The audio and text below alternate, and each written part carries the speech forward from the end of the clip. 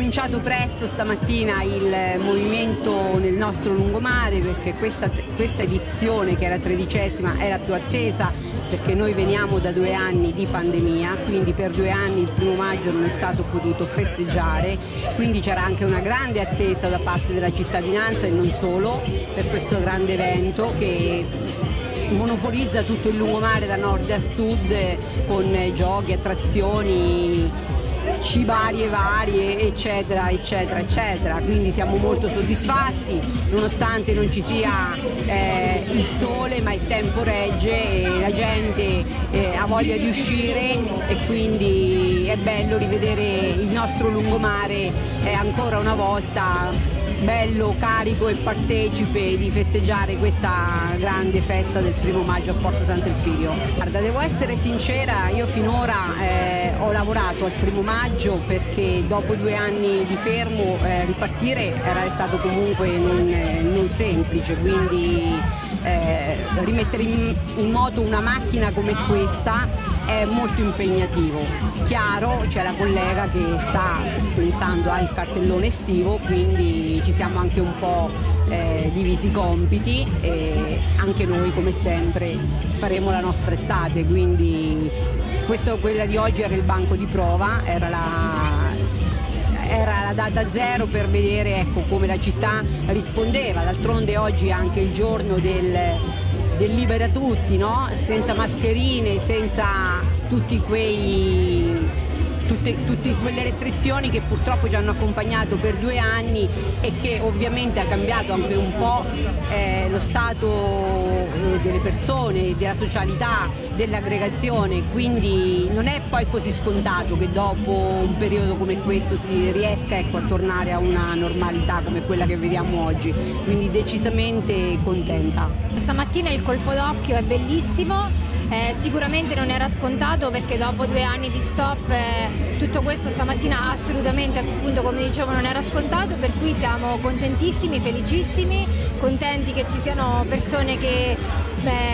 godranno di questa giornata se non meteorologicamente parlando bellissima ma sicuramente ecco, attrattiva dal punto di vista eh, delle cose da fare, delle cose da vedere e contenti anche per tutti coloro che appunto partecipando anche alla fiera potranno lavorare e quindi ecco anche un ritorno economico per chi partecipa oggi con noi a questo primo maggio a Porto Sant'Elpidio. Anche quest'anno appunto abbiamo voluto riorganizzare l'anteprima, quindi ieri sera in piazza Garibaldi si è svolto eh, un concerto eh, votato sicuramente all'allegria, ieri sera abbiamo ballato in piazza con un gruppo eh, di sole donne che comunque ci hanno fatto divertire con delle cover che sono andate dagli anni 80 agli anni, ai giorni nostri, quindi è stata veramente una bellissima serata.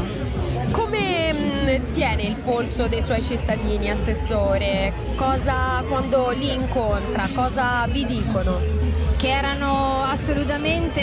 eh, insomma, volevano che assolutamente questo giorno si ripetesse. In quest'anno che eh, iniziamo a ripartire appunto dopo due anni di stop, quindi eh, tantissima felicità anche da parte loro e quindi con orgoglio appunto li ringraziamo anche per la partecipazione perché oggi ne abbiamo già incontrati tantissimi, oltre ai turisti che naturalmente arrivano sia dalle regioni limitrofe ma anche dalle città limitrofe, per cui ecco eh, siamo contenti anche di vederli oggi qui con noi presenti a questa manifestazione. Insieme al 25 aprile, il primo maggio rappresenta un pochino il banco di prova per la prossima stagione estiva e molti vengono ad affacciarsi, fare il weekend e poi scegliere se confermare il soggiorno estivo. È stato così anche e soprattutto per quest'anno? Sì, diciamo che la promozione è stata molto importante, eh, ci abbiamo puntato per cui ecco i primi riscontri già li vediamo anche oggi. Un'estate assolutamente piena, ho visto un calendario che si sta formando mano a mano, ho visto delle date anche nel mese di maggio, quindi stiamo provando a destagionalizzare. Sì,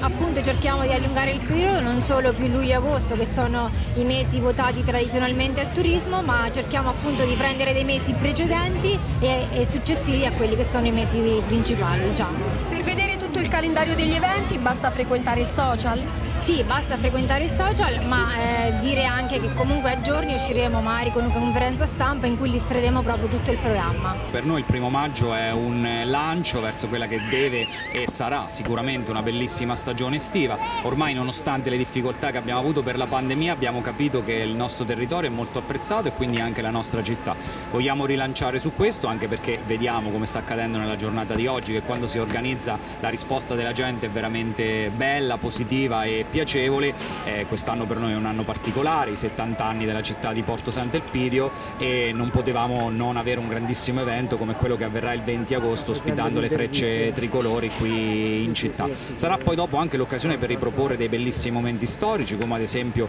quello che è il ritorno del Palio del Mare o il beach soccer nel mese di luglio e tante altre iniziative che ormai i cittadini hanno imparato a conoscere e che animeranno ancora una volta l'estate alpidiense. Abbiamo sempre avuto un po' la matrice sportiva che ci ha caratterizzato, il fatto di utilizzare queste che sono le strutture, le infrastrutture legate al lungomare, dove ad esempio a fine maggio avremo delle bellissime manifestazioni ciclistiche che portano centinaia di persone qui in città, quindi sicuramente la matrice sportiva è una delle matrici sulle quali eh, lavoriamo, lavoriamo più di tutti. E poi ecco punteremo anche su questo discorso dei 70 anni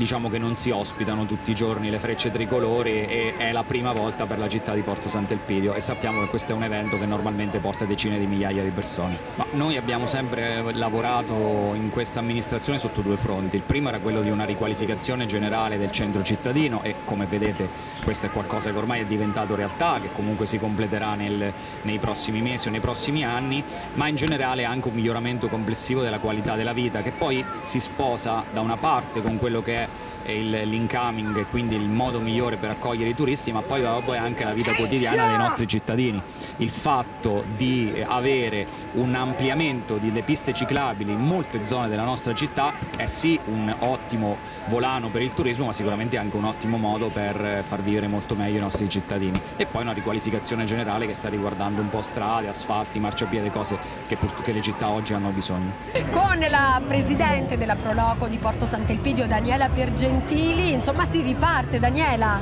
Sì, è un inizio, cerchiamo di ripartire. Eh, dopo due anni di fermo questa è la prima volta che iniziamo a, alla ripartenza. La Proloco è una grande famiglia,